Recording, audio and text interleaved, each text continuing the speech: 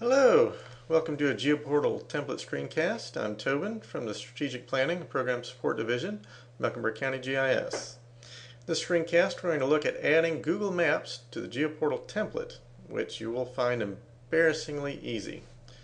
First, if you haven't already, you need to bust out your web browser, head on over to uh, code.google.com slash p slash geoportal download GeoPortal template either from the downloads or from latest Mercurial. And uh, you'll need to put it into an HTTP server. It's just JavaScript and HTML, so any HTTP server will do. IIS, Apache, whatever floats your boat. Now here I have GeoPortal running on my local machine.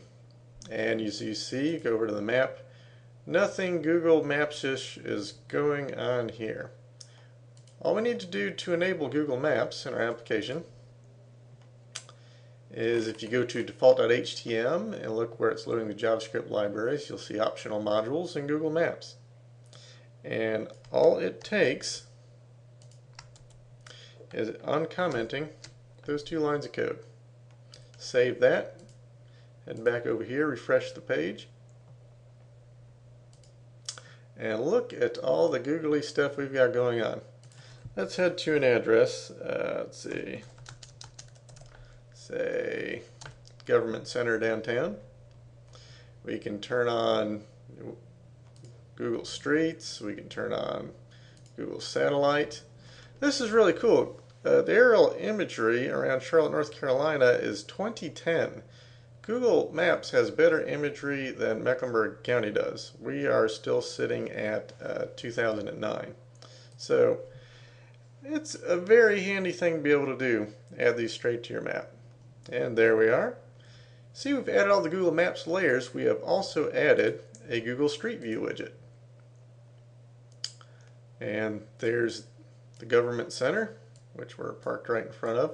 It's smart enough to know based on where the address is located and where the nearest street view is located, it's computing the angle so you're facing the the uh, point location of that address and not just kind of staring out due north.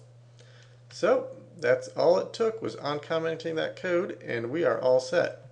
Now there's two things to note. First we're using the Google Maps API version 2 because that's what's supported with the latest version of OpenLayers, our mapping engine, which is version 2.9. You can actually go into OpenLayers and I think somebody has hacked some code together to get 3 working, but we're just going with the default OpenLayers release. Because it's 2.9, that means two things. Street View, for one, is Flash, not HTML based, so your clients will need to have uh, Flash installed. It's generally not a, a bad thing. Uh, you're rarely across people that don't have that installed. The second thing is, if you're hosting this somewhere other than the local host with the Google Maps API version 2, you will need your own Google Maps API key code which you can just uh, Google for Google Maps API key code and it'll take you right here. Put in your site, it'll generate a key code and you'll just, uh, it'll be a big horrendous thing like this and you'll just put it at the end of this URL call and you are done. That's uh, adding Google Maps to the GeoPortal template, very easy. And this is Tobin signing out.